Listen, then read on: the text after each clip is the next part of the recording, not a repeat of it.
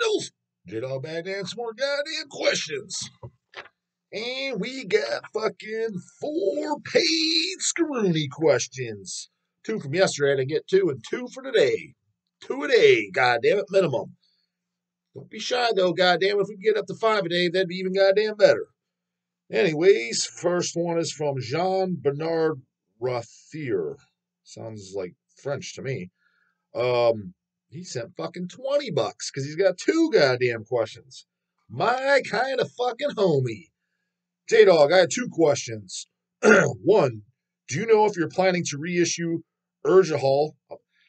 Let me know if I'm ever pronouncing that band right. The black metal band? U R G E H A H A L. Urgehal? Is that how you pronounce it? That's how I've always been saying it. But uh, Agonia Records has released their stuff and we've carried it over the years. Seems like they started in the early 2000s. I remember when I first, at least that's when I first started seeing the stuff, probably around 05 or so. So I'm assuming they started around there, early, very early 2000s. Uh, reissue Hall Massive Terrestrial Strike on CD along with bonus tracks Nyax, which was on some early vinyl editions. So to uh, answer that goddamn question real quick, um, no, I mean we don't have any plans. I, I don't know what what made you uh, think to ask about them. Like, are you asking like, will we be interested? To be honest with you, I don't even remember what those guys sounded like. They just I know I listened to them. Um, it was at the time when Agonia Records when we first started trading with them. Heard them around the same time I heard the that Adorer, uh, Infernal War, Anal Vomits. First time I heard Satanic War Master too. Um, it was the 10 inch with the goddamn uh, polar bear on it. it was and I didn't know nothing about them. Like, was this goddamn Satanic Grizzly Bears? Like, what the fuck's? I, I didn't like the cover. Um, whatever that 10 inch is called. That was for, I was like, I liked the band name. And then I put it on, remember not liking it. And then most of the other stuff I heard too by Satanic War Master I didn't like. It wasn't until I said that the Carelian Satanist Mana song came out. So, oh, this is fucking great. And then everything after that I liked. And then I only went back once and I listened like maybe like Strength and Honor. Might have been that one, or maybe the split with Clandestine Blaze. I was like, ah, or maybe I don't. Maybe it wasn't the split. Maybe it was the Black Metal Commando. It was another one, another earlier one. And I, I only went back to it once, not all of them, and I was like, yeah, still don't really like it. Nothing there. The band that I thought got better. Um, but Urgehal, I know I listened to uh, them back then, and I remember doing nothing for me. And their image, at least they had a fucking image, unlike these other fucking bozos that we keep discussing every day their image just looked a little forced and like granted they were trying something different and i get it work outside the box the guy had like that fucking cage around his face and stuff. It just came off as a little uh eh. band name i can't probably not even pronounce the goddamn thing right. Covers just screamed let's be dark throne transylvanian hunger.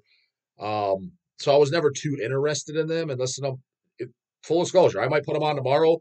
I won't put them on tomorrow, but I'm just saying if I went back and listened to them, now I'm like, this is fucking great. Like Infernal War. Went back, I was holy shit, these guys are fucking blazing good.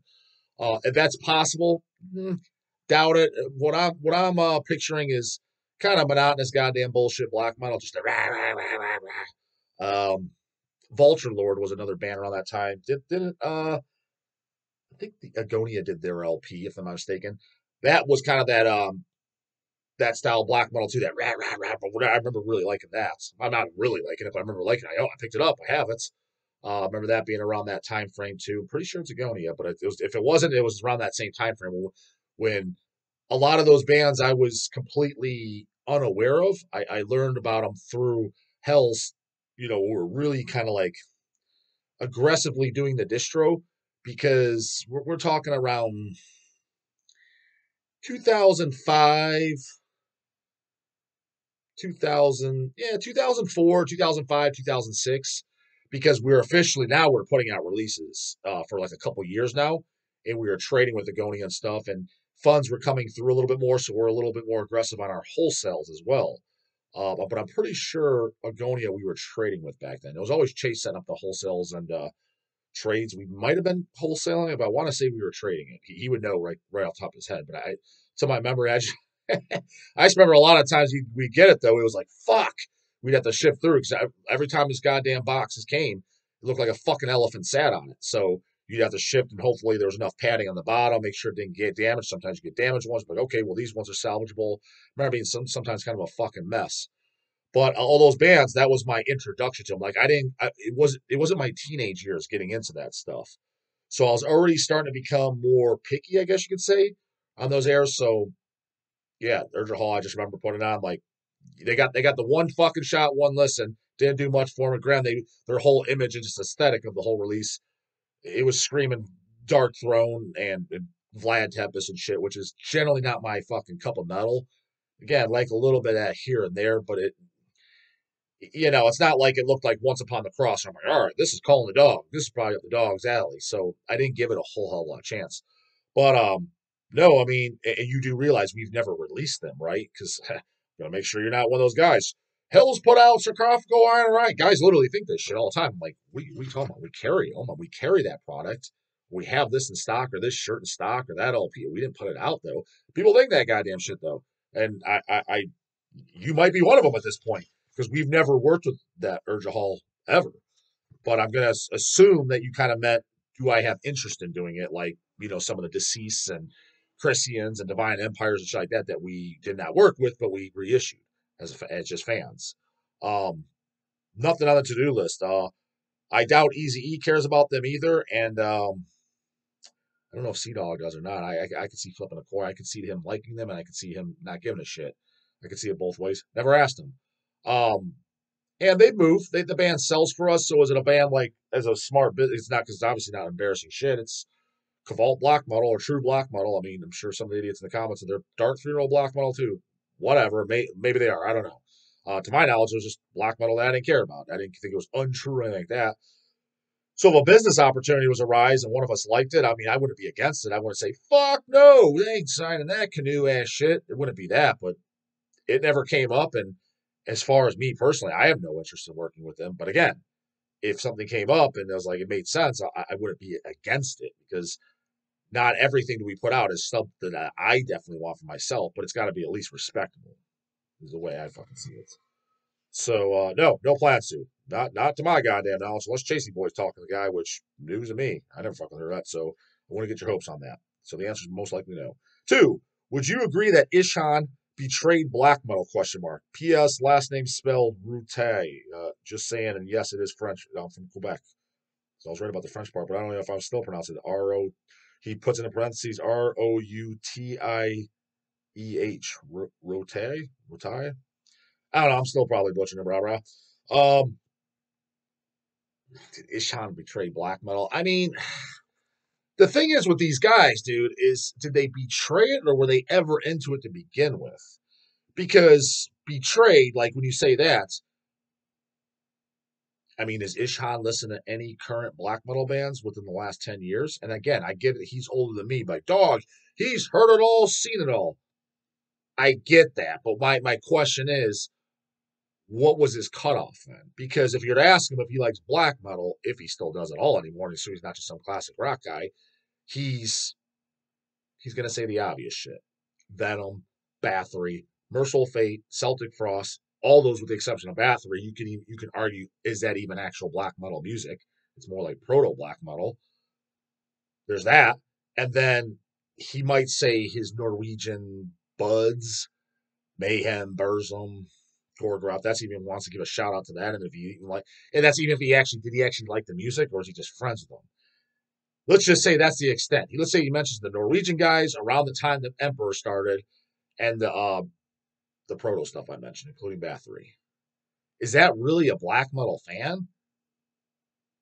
Not really. I mean, because to be honest, like, okay, I could get it maybe if he's like, dude, I'm not checking out the new Grieve album or whatever that came out 2023. I've heard it all, seen it all. I helped create the black metal.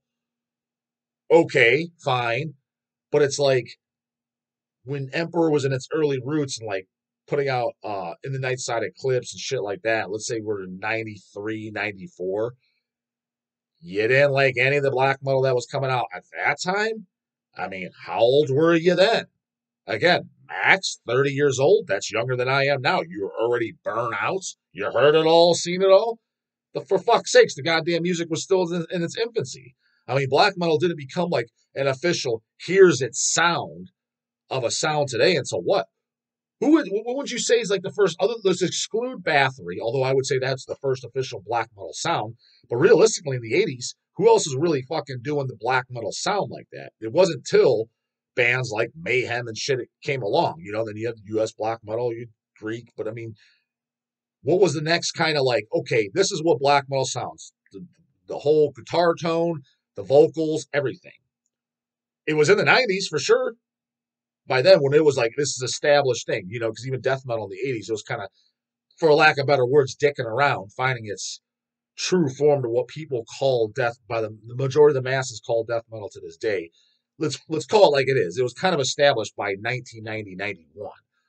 Because the whole argument of the, the, the 85 and you know seven churches and scream bloody gore are those thrash albums. There's that argument. So it wasn't like a solidified this your death metal if you play like this till 90 91 let's call it like the fuck is black metal is basically the same camp give or take a year or so uh, don't have to be a smart ass and pull out well death crush is this that's one off record and it's an EP and it, it, it wasn't definitely established.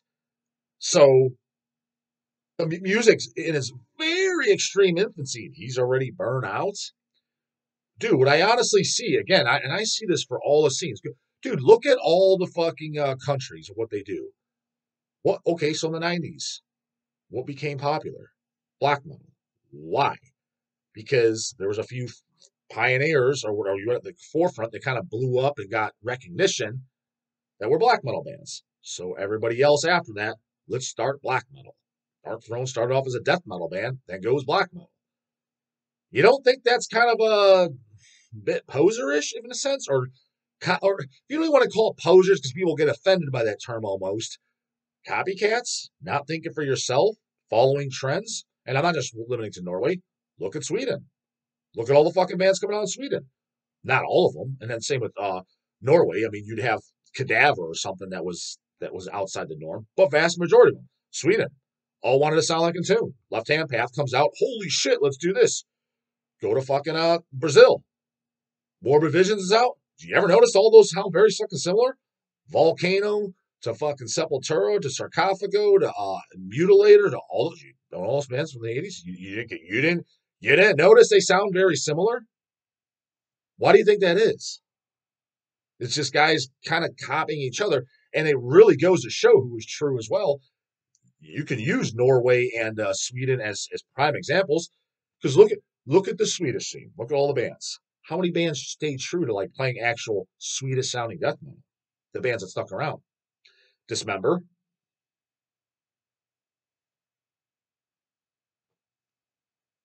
Crickets. Is there any others? It ain't Entomb. It ain't Grave. Well, Grave with it. hating life, bra bra. We're then we're done. Then we're back. I mean, I guess they kind of play Swedish death metal now. Full disclosure, I haven't listened to the last five albums. The last thing I heard was that Into the Grave, Back to the Grave, which you could tell they're going back to the roots. I'm like, this is just them trying to rehash what they're doing, hating life and shit didn't work. So they're we're back. Let's do what we were doing. But it was just kind of like a kind of just a commercialized ver- sounding version of what of, of Into the Grave. I was like, all right, don't really need this. So never bothered to check anything past. But I mean, even later rounds, another reason it turned me off too. At covering Alice in Chains, what the fuck? Don't even want it like this. What these fucking guys thinking? So I'd say Grave's not in there. Entomb's definitely not in there. Unleashed is not in there. Some people stand up for some of those later Unleashed. Okay, fine. I mean, I've, I've heard Hell's Unleashed or whatever later on. It ain't a Swedish death metal album. It's a metal album. I'm not saying it's it's fucking Limp Bizkit canoe fucking shit. I'm not saying that. But it's not a death metal record. They started off as a death metal band. Dismember was the only band that considered c- continued to do death metal out of all the bands that continued.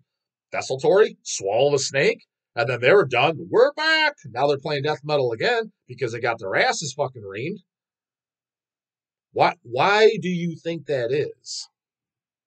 I, my personal opinion is all these band members, for the most part, they're just copying buds. They're a bunch of teenagers. They were highly uh, influenced on what their friends were into, what looked cool, what, what what got the girls, what got the views, what got the fucking just the attention, for lack of better words, and that's what they ran with. And I'm just using those two uh, locations, or the third location. Want use Brazil, same scenario. But there's other locations that are just like that. Why do you think a lot of that slammy shit came out right after Suffocation from New York? Why is most of it from New York? It's no coincidence. Just guys copying off each other. So, And by definition, that's the true version of poser. Their hearts weren't truly into it to begin with. Maybe they thought they were when they were young and full of energy and shit, but fuck me dead. Entomb didn't last long. They turned their back on that death metal. So is Ihsahn in that same category? He's got to be, dude. He he has to be, dude. There's no way he actually likes black metal. Again, he best case scenario. This is best case scenario. He occasionally throws on the player every 12 to 18 months some of the albums he grew up on. He'll throw on some Welcome to Hell, Black Metal, At War with Satan, first couple Bathories, maybe Sarcophago INRI, maybe fucking Deathcrush because he was buds with them, maybe, maybe, maybe De Mysteriis Dom Sathanas. Again, he was buddies and he wanted to talk about how cool he was in that goddamn circle. That was around 93. That was pushing it years, years wise. Spent all over the goddamn place over here. Um, that's about it, dude. I mean, does he like Denial of God? Does he like Impiety? Does he like the Ducks? Does he like Enthroned? Any other fucking black metal? It go the Greek sing, Rotting Christ, Varathron. Does he like fucking uh does he think Paul Ledney's a sack of shit, fucking profanatic a Havohej, complete fucking garbage? Does he like Sathanas? They put their goddamn demo out in the fucking 80s. I mean, doubt it. I highly doubt it. I highly fucking doubt that he does. But Mr. Darkness and fucking Evil, dude, it's all about this. It's the only reason he's doing it for. It's the only goddamn reason he's for it. He ain't got the fucking darkness and evil and the all Satanism. He just he just doesn't. I'm, I'm and I'm, I'm just talking about him because you specifically asked about him. That's the majority of these guys, dude. Hellhammer, all of them, just all, all those fucking bands. I mean, you got fucking who was it, Gaahl or the guy in Gorgoroth? He lives out in the fucking woods and just draws paintings and shit. He's not in the black metal. Do I give a fuck? I don't give two flying fucks what the guy does. Like, it's not a matter of me caring. It's just me again. It's the equivalent of me taking up uh, J Dog is gonna be a rapper. Why am I gonna be a rapper? I don't listen to rap. My question to these guys is, why do you play black metal? You don't like black metal. Well, pretty much by your own account, admitting it. There's only one reason. There's one goddamn reason. Money. That's it. That's the only reason. What else What reason would you do it? If I was going to be a rapper and someone's like, hey, J Dog, you go do your rap, we're going to pay you a million dollars. Yeah, I probably would do it. Probably would do it. But yeah, I'll do this on a side project, keep this Canusha in the fucking DL. I don't want this associated with my metal scene. But yeah, for a paycheck, I guess, because I don't like the shit. I don't like rap. And they go, well, they're artists. Did they do art that you like, dude? Because you like some type of music. For example, Ihsahn he likes classic rock, if he's listening to Rush and fucking ZZ Top, which is probably what it is, play that kind of music then. Doesn't have to sound like those bands. Be an artist of that, something that you like. That would make the most logical sense. If I'm an artist, because I know that's what Gaahl or whatever the fuck his name is said something dumb along those lines. Okay, but you're playing an art, a, a music art form that you don't like. It makes no fucking sense. So, do I care? No, but is the dog stupid and thinking they're they're the leaders of the black metal and calling the shots? I don't think that at all. Next goddamn page fucking question. Edwin Stonebreaker. So glad I found your YouTube page because it's awesome. Mm-hmm. Bet your ass it is. My question. I'm a huge Venom fan, probably the biggest. Tall statement. You think the biggest Venom fan out in the world, especially the first four albums. That's where it's our bra bra. That and Cast in Stone. God damn it. What are your thoughts on these bands splitting up and both sides using the Venom name but adding the ink to the one? I could talk about that for a second. I mean, I don't. I'll get to that. Why not come up with a whole new band with with new name and so on? Looking forward to ordering a shitload of stuff from you. From Ed Stonebreaker. Like the ordering a shitload of stuff. Uh, remarked Bra Um, as far as the Venom Inc., let's call it like it is. Why they do it? So they're not going to change their name because outside that, if they do Mantis and Abaddon, which was those two, at least originally, nobody cares. That's why nobody will fucking care. So they got to carry that on so they can play fucking the old songs. You go see them live, which I did six years ago, and don't be wrong, I thoroughly enjoyed it. I thought it was going to be a shit show. They played all oldies, golden oldies. I thought Demolition Man did a pretty good job. Granted, the Demolition Man albums, I recall, I don't really know, to be honest with you. I just assume no Cronos, no go. Um, but he did a good job, fit the bill. last time, this last tour they just did, they're coming through Cleveland. I'm like, dogs going as I hopefully get an interview with Mantis. I hear day of, No Mantis. Well, Abaddon's out. From what I heard, he knocked up some fucking chick and his wife found out and kicked him the goddamn curb. Don't know if that's true or not. That's a story I was goddamn told. Um, so there's no Abaddon. Yeah, he was the only one I met too, by the way. I met him uh, when they played here, whatever it was, six years ago with Midnight and Satan, I think. I think that was the package. Nonetheless, saw him. Thought it was good. Um, got to meet Abaddon. Mantis was, I don't know, in, in the back room getting blowjobs, doing whatever. Uh, didn't get to meet him. This was before the channel. But now that I was doing the channel, I'm like, all right, well, Abaddon's out. Would have been nice to get them both. Let's get me a Mantis. There's no Mantis. I'm like, okay, well, let me get this straight. There's no Mantis now, and there's no Ab. We know there's no Abaddon. He's he's busy fucking with Titty Girl.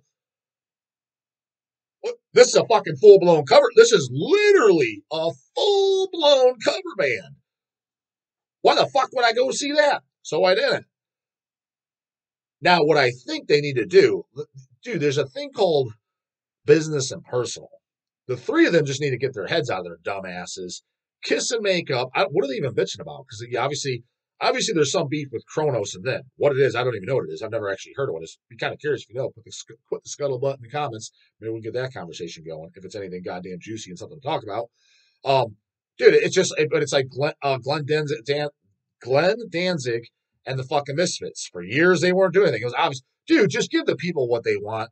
Kiss and make up. Who gives a shit? You don't have to like each other. Just ignore each other. You're on your big tour buses anyways. Hell, you probably got separate buses in this room. It's not like it's not like you're fucking Nunslaughter going on the road and you're and it's like, okay, well, we get a room for for four guys and they're all sharing a room. You're bunked. No, they get their own rooms. Just don't even deal with each other. Just go on, treat it like an employee, and just you know, you say hi and you got to put on the smiley face for the seconds you're around them, just to put on the show, give them what they want. That's what that's what they need to do. Do real Venom. Do the three original.